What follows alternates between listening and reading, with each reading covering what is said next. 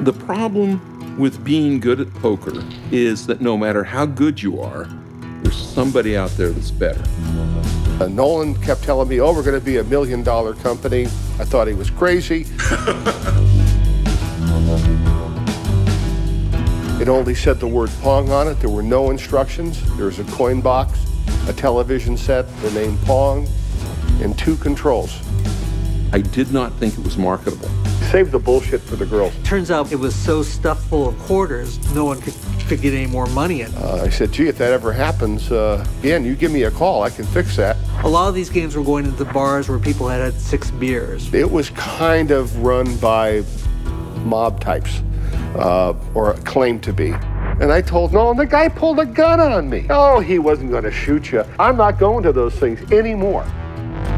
Although being successful as a new company, Atari was always chasing money. When you're growing at double and sometimes triple digit rates, you need a lot of cash. The VCS, no matter which way I ran the numbers, required more capital than we had. I got a call one day. I can remember the question Would you have any interest in a fast growing, technologically based entertainment company?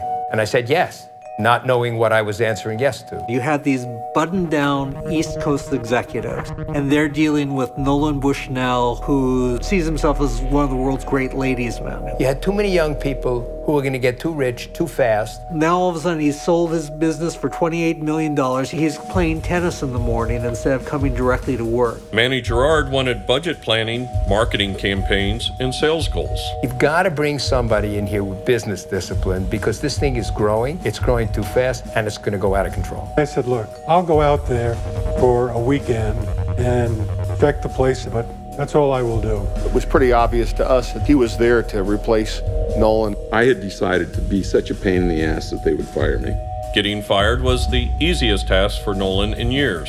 I couldn't function with this environment unless I was running the show.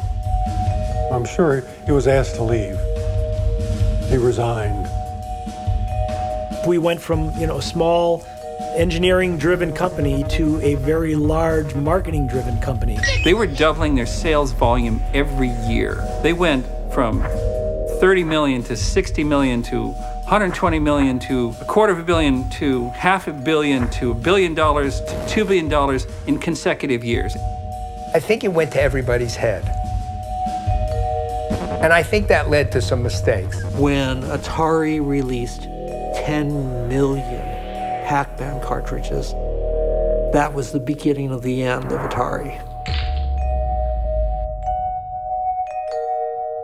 I was better than all of my fraternity brothers, but I was not better than this one guy that came down and picked me cleaner than a Christmas goose.